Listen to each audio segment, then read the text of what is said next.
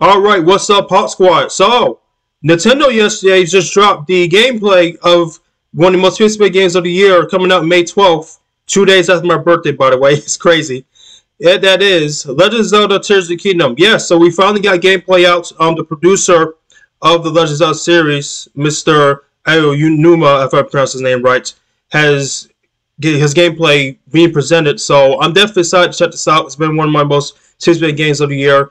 Especially, obviously, I beat Breath of Wild about two years ago, I believe. About two years ago, I did play Breath of Wild, and I freaking loved it.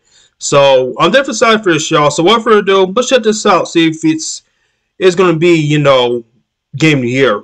So who knows? Who knows, y'all? Because some game might come out nowhere, might beat Tears of Kingdom. Who knows? But anyways, let's check this out, shall we? Let's get it. And now, our feature presentation. Hello, everyone.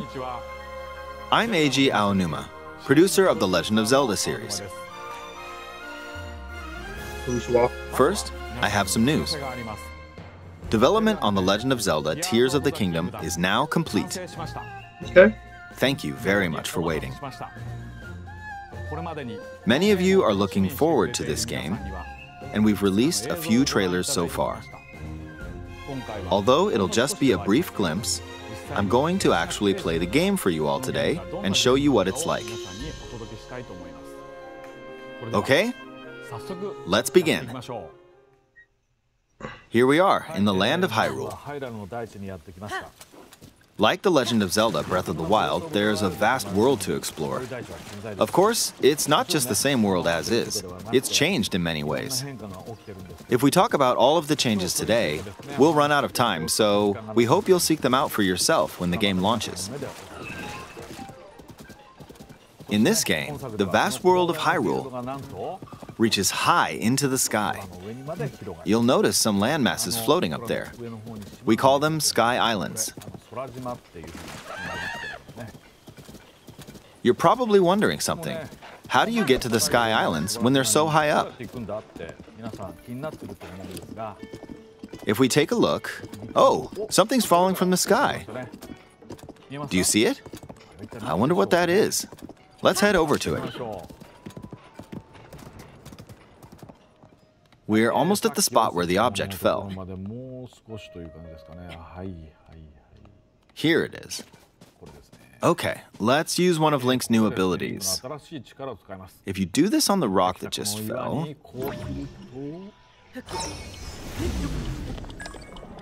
Look, it started rising. Oh, wow. This power is known as Recall, which rewinds an object's movement. Since I just used Recall on the fallen rock, I can now rise into the sky. That's pretty cool. We're a lot closer to the Sky Islands. Let's use the paraglider to reach one of them. There are a few other Sky Islands floating here too. I made it. There are lots of ways to reach the Sky Islands, so we hope you'll try a few different methods. Okay, now we're on a slightly bigger Sky Island. Just like on the surface, there are several man-made structures. Some trees are also growing here. You won't see many of those yellow trees on the surface, though. Let's walk around for a bit.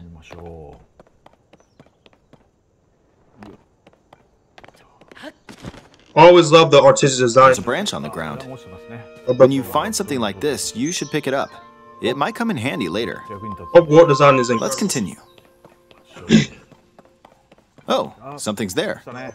This is a brand new enemy called a construct. Hmm. We'll fight it using the branch we just picked up.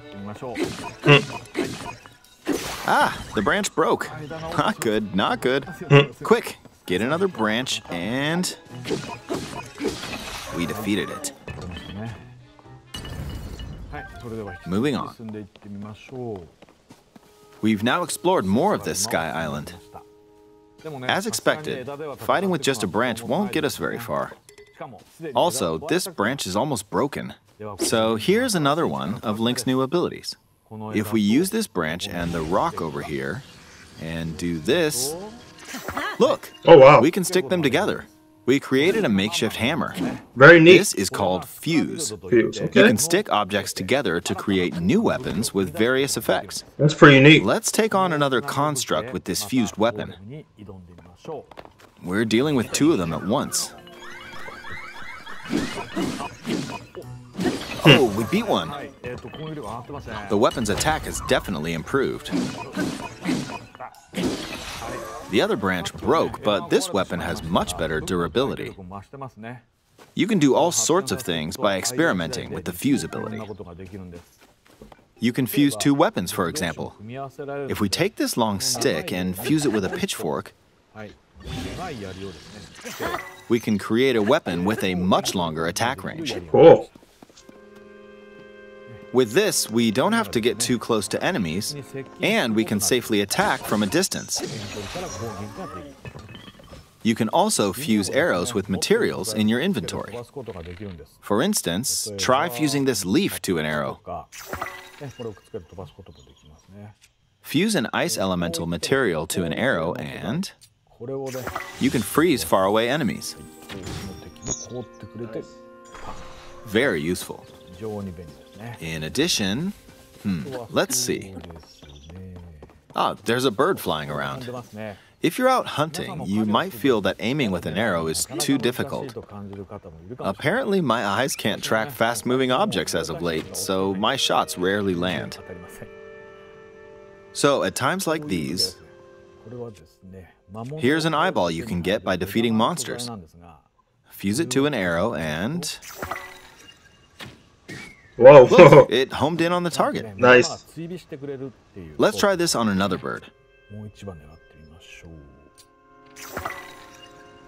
I'll just fire in that general direction. It's very simple. Depending on what you stick together, the Fuse ability could also be beneficial for hunting. I fused a mushroom to my shield. Hmm. Now, you're probably wondering if this has any use. Well, this mushroom is actually a puff shroom.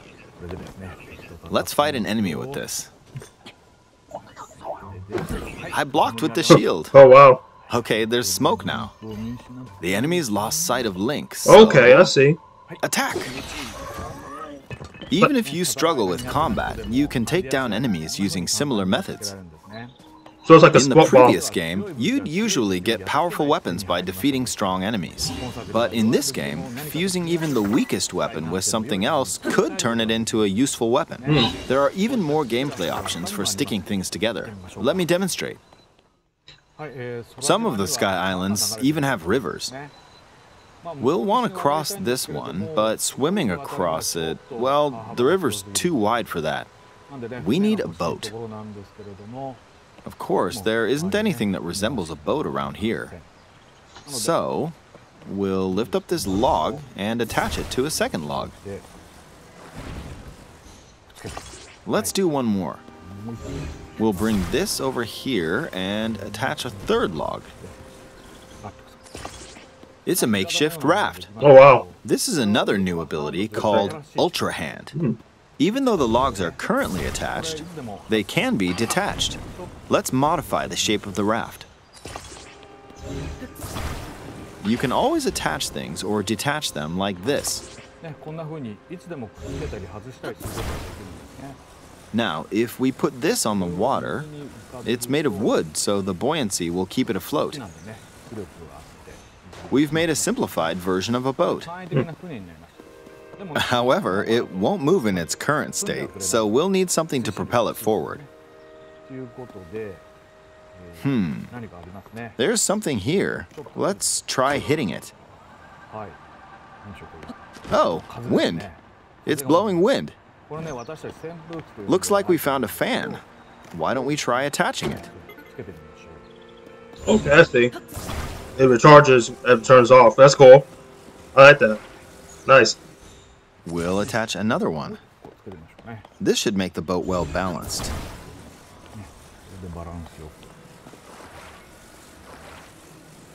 Okay, they're attached. All right, let's try moving the boat. Hey, it's moving. It's sailing pretty fast with the wind from the fans. Since we added two fans, we should be able to cross the river in no time. All right, we reached the other side.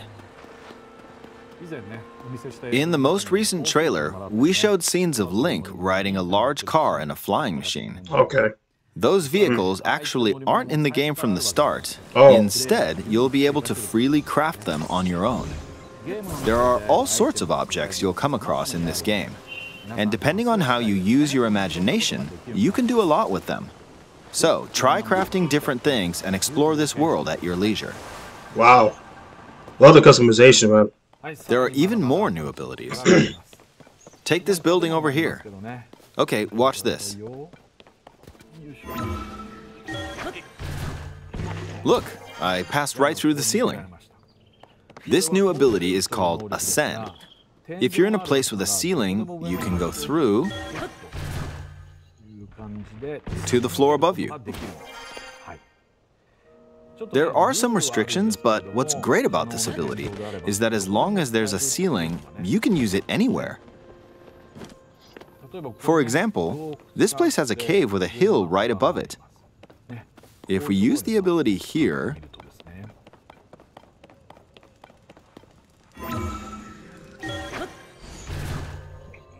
Come on. Keep going. Okay. We emerged at the top of the hill. Nice. In the previous game, you had to use stamina to climb a mountain. But in this game, if there's a mountain with a cave like this one, you can now get to the top without having to climb all the way up. Very useful. Here's another example. Imagine you're stuck in a cage. If it's got a ceiling, you know what to do, right? Exactly. Oh, there's another construct. It seems to be holding a strange weapon. Some enemies are equipped with fused weapons, so battles will play out a bit differently from the previous game. Ah, it blew me away with wind. Looks like it's got some sort of fan. Ah! I got pushed off! Damn. Oh well, let's just return to the surface. You can quickly descend from the sky to the surface like this. It feels so good. In the sky, you'll be able to look out across the land. You can also search for destinations that pique your interest. Once you've chosen your destination, you can speed things up, like this. Let's dive into this river. And we're back on the surface. There are still so many things I'd like to show you, but let's leave it at that for now.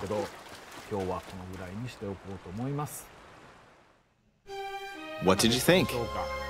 Some of Link's new abilities were updated from the previous game.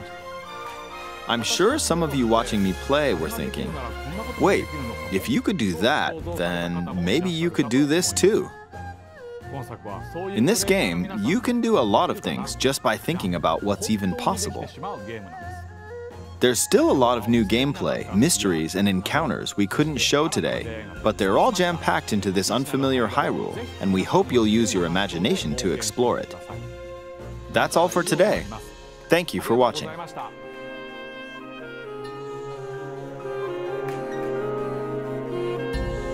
Very nice.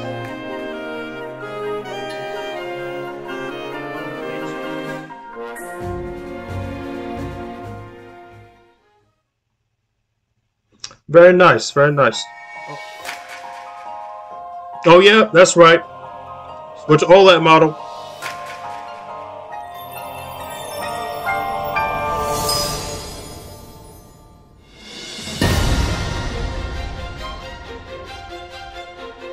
Love the look of the Joy-Cons too.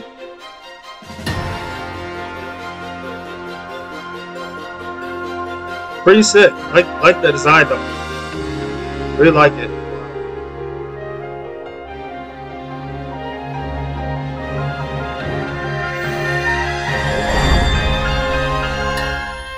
April 28th.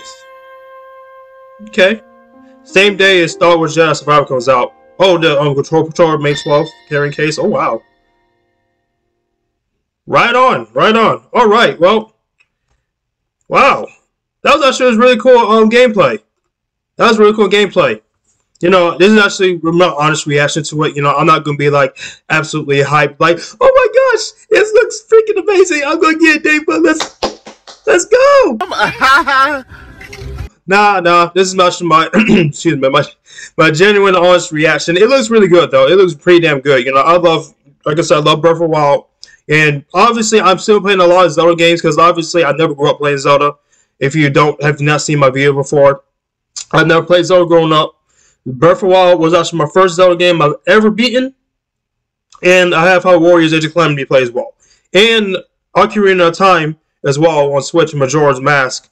And, excuse me, I'm trying to clear my throat here. But yeah, it looks really good, y'all. It looks really good. So hopefully, obviously, I got a feeling it's going to be a perfect score. Same, probably, definitely perfect score, just like Breath of Wild. But who knows?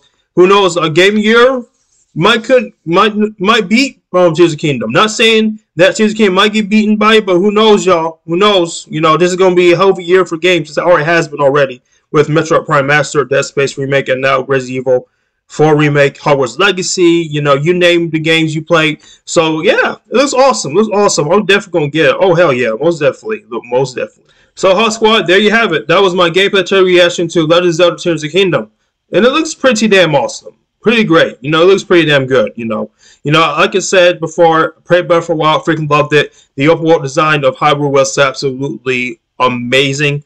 Like, I just love the art style to it. The art style, combat was pretty good. You know, I just get got so irritated that you know I had to be careful on my weapons and my shields. They kept breaking. I was like, you gotta be kidding me! These fragile, fragile damn things. so it was actually my first time playing Zelda. You know, I'm like I said, I'm still getting used to it. Never grew up playing Zelda, by the way. So, yeah, I'm definitely excited for Tears of Kingdom. And I'm catching up to a lot of games. You know, I have, I have Guardians of Galaxy to get through and Splatoon 3 to get through the story mode. So, yeah, I'll be damn should be busy for a while, you know, as always. And I have, you know, college stuff coming up, you know, on I work. So I get these reactions as soon as I can, y'all. I get these reactions as soon as I can. I'm not going to stop. Trust me, I'll schedule them. I will schedule them. So if you enjoyed this, please hit the like button. Comment, subscribe, share your thoughts. Are you very excited for Tears of Kingdom? Do you think it's be game of the year? Do you think it's not going to be game of the year? Do you think what game's going to beat it? You know, what's what's your favorite Zelda game? What's your worst favorite Zelda game? Your least favorite? So, HawkSquad, there you have it. So, unfortunately, this is going to be the only reaction for today because I have, you know, I'll be busy right now. Um, Friday or Saturday, hopefully, but Friday, I'll get my reactions, try reactions I promised for for Fast X, Guardians of Galaxy Volume 3, Super Mario Bros. movie, and the Teenage Mutant Turtles Mayhem trailers. So, HawkSquad, safe out the sky. I will see y'all hopefully later this week for more reactions, and I'll see y'all later. Peace out. Have a great day, and I'll see y'all more as always for more contents. Goodbye.